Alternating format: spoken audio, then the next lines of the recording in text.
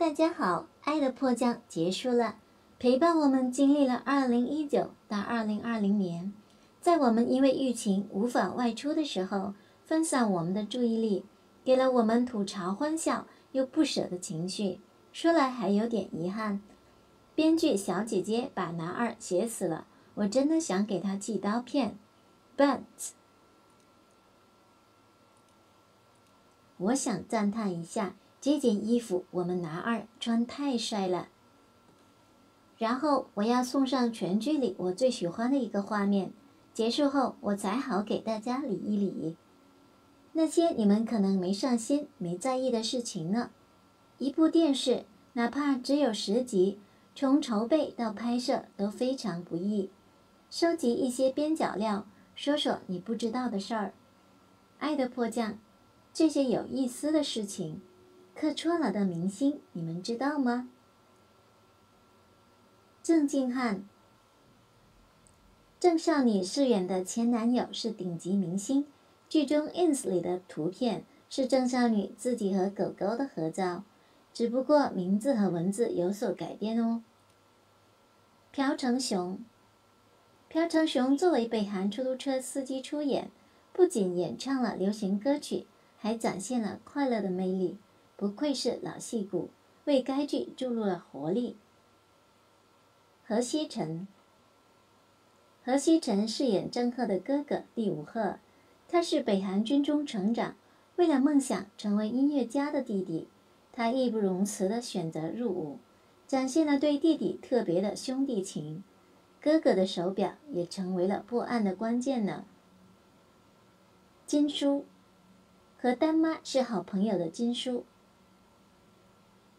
金秀贤穿着绿色运动服的东九，我的天，这不是隐秘而伟大吗？把自己在韩国的经验分享给新 F 五了，十分和睦呀。金秀贤退伍后倒是乐于客串。崔智友，我们可爱的丹墨终于见到自己的偶像，当天国的阶梯。背景音乐一响起来，鸡皮疙瘩都起来了。这款像这款全项羽同款红帽子出现的时候，真笑到不能自已。季生俊和丹妈吃饭时点上蜡烛，说每张餐桌都少不了烛火，这正是《秘密花园》里炫斌说过台词呼应。我们炫宾玩游戏的时候，背景音乐是阿尔汉布拉宫的回忆。参观大小姐的家，浴室、衣帽间，透露出金钱的味道。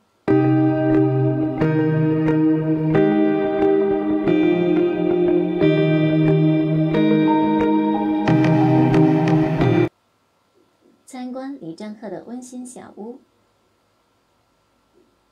在我们局长家里，一眼就看到了那架钢琴。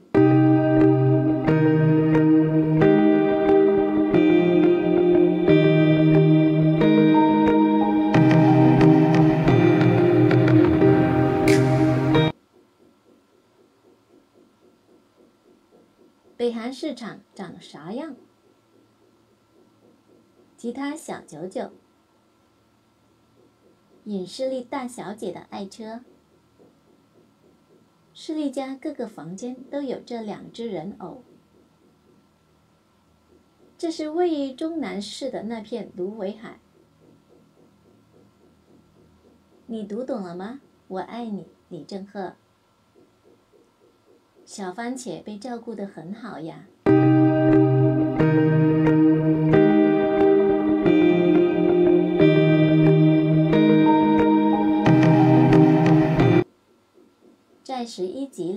施力在贺的手机上存自己的手机号码，零幺零是韩国国际区号。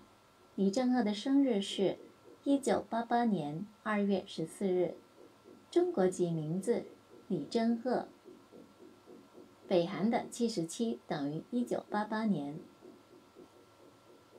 结束大合照，美好的很，撒花啦。